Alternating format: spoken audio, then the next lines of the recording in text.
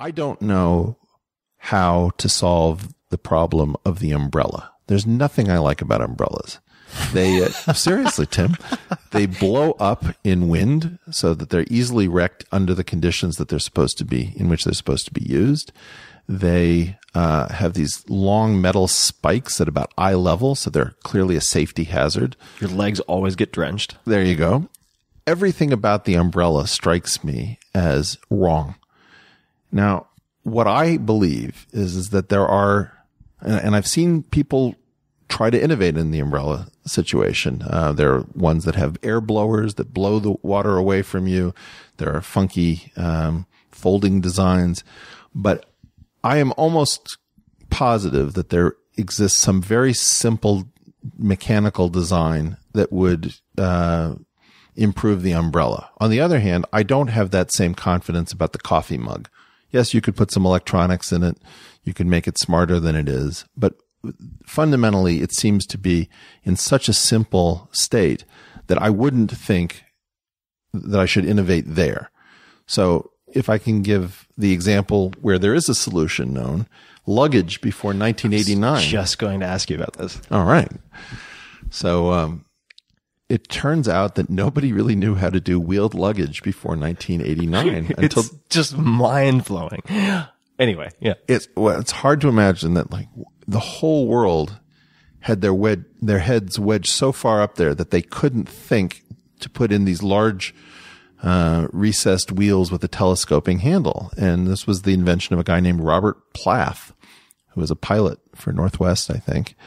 And in one fell swoop, uh, he convinced everyone that their old luggage was terrible. So even though there wasn't a lot of growth, he created the growth because nobody wanted their old luggage. And you know, you could compare these discrete brainwave innovations um, across fields. So, for example, in uh, in table tennis in the early '50s, the worst player on the Japanese team at the Bombay Table Tennis Championships was this guy uh, Hiroshi Satoge, and he um, glued two foam uh, expanses to both sides of a sandpaper uh, table tennis bat, and nobody um, could cue off of the sounds because it changed the sound of the ball. Oh, it's like and having a silencer on exactly. It's like if so if you put a suppressor on your paddle.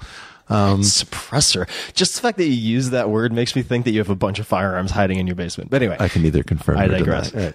But but the the, the uh, the idea that the worst player on one of the lower rated teams would be the undisputed champion simply through an innovation that was that profound shows you what the power of one of the these ideas is that the power laws are just so unbelievably in your favor if you win that uh, it makes it worthwhile or Dick Fosbury, who went uh, backwards over the high 1968. jump. You got it. Very good. Ridiculed and then mimicked, and eventually standard. Yeah. Uh,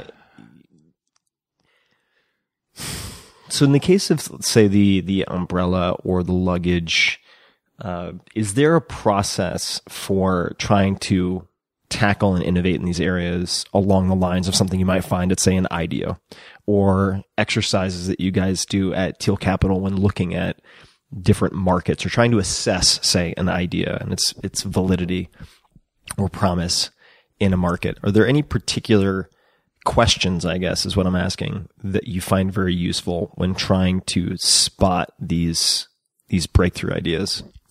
Well, it depends in, um, situation by situation. So, for example, in science, I try to use various intellectual arbitrage techniques where if you have a bunch of smart people who've been focused on a problem, I try to look at what, as a group, their weaknesses are. Where how how how how is uh, their bread buttered? What is it that they can't afford to say or think? Um, what, what, might be an example? Well, so for example, in in uh, in, in theoretical physics, uh, there are all sorts of shibboleths where if you can't um, say that you believe uh, that quantum mechanics is intrinsically probabilistic, you're not a member of the club because it's assumed that you sort of can't accept a difficult reality. Um, or if you can't um, sign up for one of the major schools uh, you have no way to get funding because you, there's no one who will support your grant applications. So you start to look at what causes what should be a diverse portfolio of ideas to collapse in terms of the diversity where everybody starts representing the same point of view with tiny variations. If you're looking at a problem that's never been attempted, you don't want to use intellectual arbitrage because it's just blue sky. There's no reason that the first attempts uh, to think through the problem won't yield uh, fruit. But you know, in the case of the umbrella, um, I would start to think about well, what what made what made me think, or what made one think that this was a problematic object.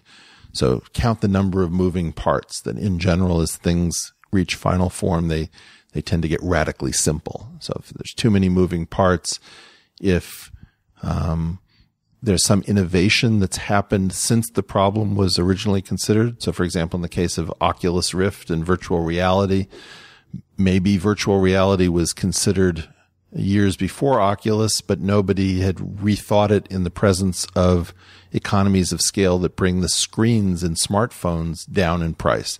And so suddenly you have the high quality screens that are affordable that way back when would have cost a prohibitive amount.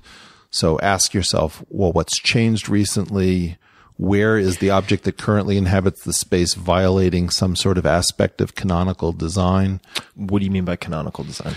Well, you know, let's look at nature. Um, if I look at the there's a great bacteria, uh, great virus um, called T4 bacteriophage, and if you look it up, it looks like a a lunar lander. It's really cool, and um, the genetic material is held in a capsule called a capsid that has the form of an icosahedron, and so you wonder something with some sides.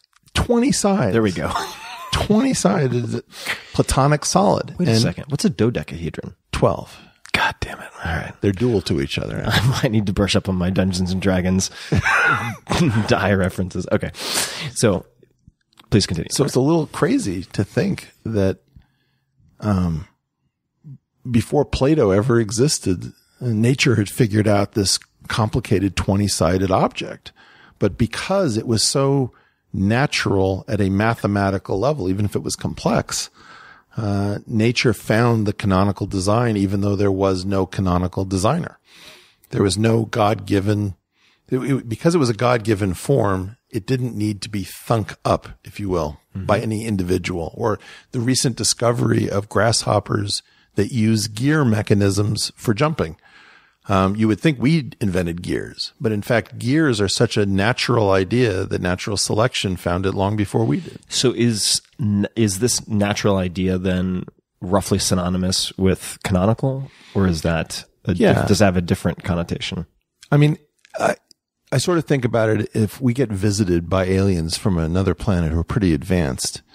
Um, they're going to know about platonic solids. They're not going to call them platonic solids because they didn't have Plato. And in fact, they were known before Plato. But these forms that really don't have a, an inventor so much as a discoverer. Got it. Got these it, are things it, that it. just sort of have to be. Mm-hmm. Okay. I took, I took us down the rabbit hole a little bit, but we were talking about umbrellas. Yeah. Uh, and the number of elements or moving pieces is uh, maybe I'm that is a clue that something is wrong. Right, right. right. It's, it's, not as elegant as it should be. So I would, I would, for example, immediately think about, um, you know, let's say the Japanese and their love of origami and the mathematics of paper folding. So that would be a place that I might see whether I could mine, um, that silo of expertise for any application to the umbrella. Um, very often it's a question of being the first person to connect two things that have never been connected before and that something that is a commonplace solution in one area is not thought of in another. Mm-hmm. Um, so I think that it, it, it involves recognizing when something is likely to allow an innovation, figuring out where the information might be, and as a last resort, thinking really hard uh, about what the form of the solution might be before you actually push yourself to be concrete. I think very often you see people get very impatient with hand waving. Well, that's a lot of hand waving for my taste. Well, if you stay practical, you'll probably be part of a lot of incremental uh, improvements, but you may never be part of one of these uh, moments where that idea changes everything.